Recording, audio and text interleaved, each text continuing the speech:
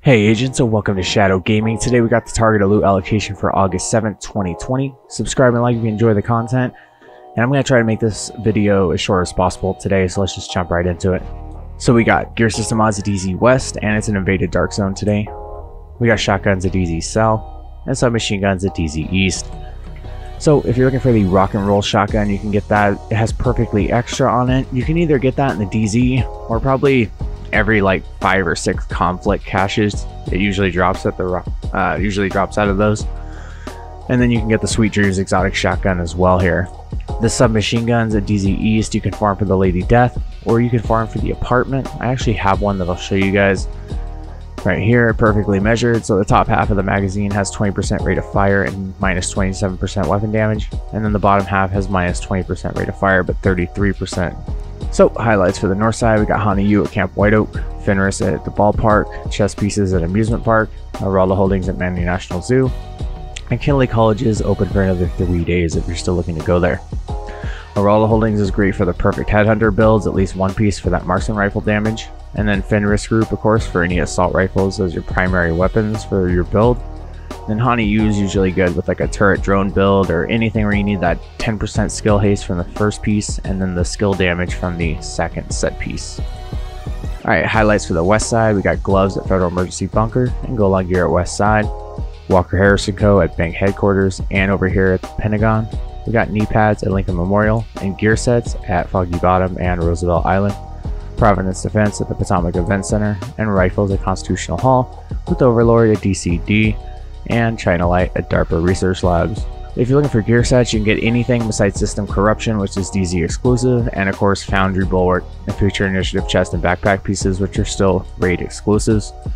China Light's great for skill explosive damage builds, and then Walker Harris & Co. at the Pentagon and at Bank headquarters. Just whichever one you want to run for the chain killer or whatever piece you're missing, you get that 5% weapon damage as the first set piece, and then 5% damage to armor as the second knee pads at Lincoln Memorial. So if you're looking for Fox's Prayer knee pads, Sawyer's knee pads, or even the Ninja Bike Messenger knee pads, you can go here at Lincoln Memorial and run it real quick. There's three bosses here. It's a fast mission to run. If you run it on challenging, it's even faster. You might be able to finish it quicker than in like an hour than you know a heroic. It might actually be more worth it to do that. Overlord at DCD.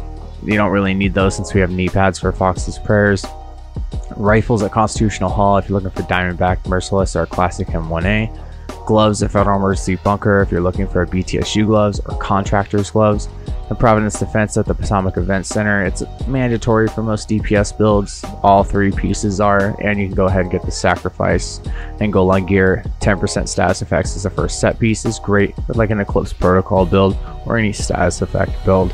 Alright, highlights for the east side. We got Mass at District Union Arena, assault rifles at American History, Petrov over here at Grand Washington, and Groups of Sombro at East Mall, with light machine guns at Capitol Building, and Murakami at Jefferson Plaza.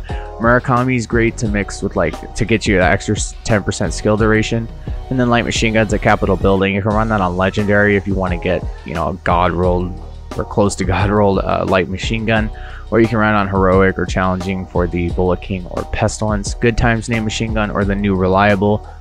That gun's really good um, with my new build with the perfect brace build. So shout out to uh, Jonathan for letting me know about that. Grupo Sombra, you can run these four control points right here. If you're looking for that 15% crit hit damage or second piece for 15% explosives damage for explosive skill damage build, and assault rifles in American History Museum. If you're looking for a good top tier assault rifle, you can get the Chameleon Exotic, or you can get like a P416, FAMAS, military uh, AKM, all that good stuff. And Sokolov Concern if you're looking for the 15% or 10% SMG damage, second piece 15% crit hit damage.